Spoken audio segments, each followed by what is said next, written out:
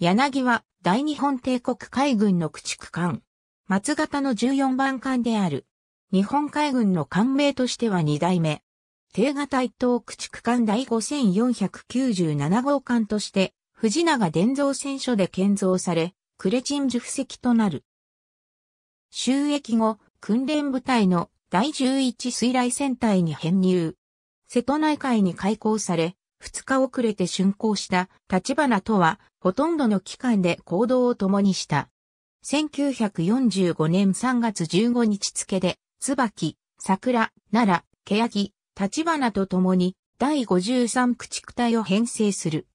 戦艦、大和の沖縄水上特攻作戦に参加するため、訓練に従事していたが、その任務に加わることはなかった。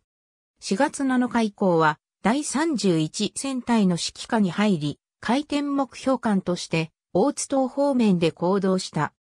5月7日、立花と共に、大港警備副部隊に編入され、5月13日に、呉を出港して、大港へ開港された。5月14日、周防灘姫島沖で、米軍艦載機8機と交戦し、戦死1名負傷8名の被害を出す。関門海峡の総会を待って日本海に移動し、5月21日に大港に到着した。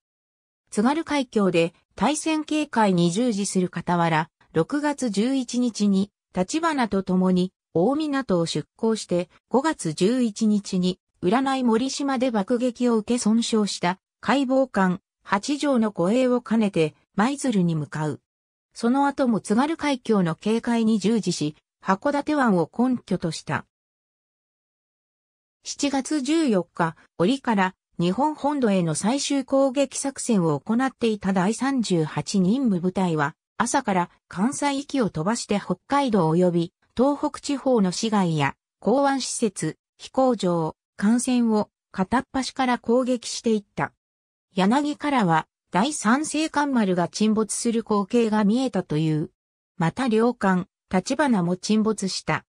その後、偵察機に発見された柳は、大島福島沖で空母エセックス関西機の空襲を受ける。魚雷の回避には成功したものの、ロケット弾攻撃が命中。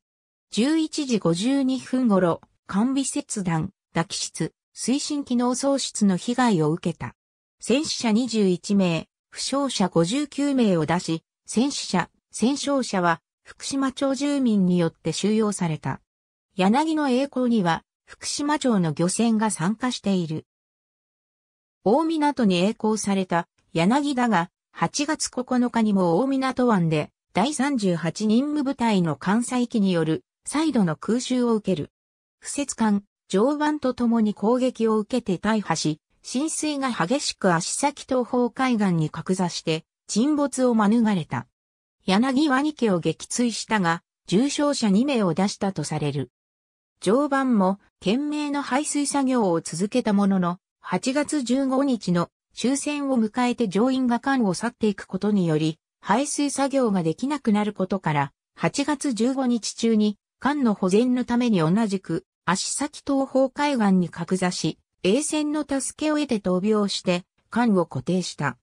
戦後、柳の船体が北九州の軍艦防波堤に使用されたとする文献も多いが、防波堤に使われたのは初代柳であり、本艦柳は1946年10月から翌年5月までに解体された。艦長たちの軍艦史367ページによる。ありがとうございます。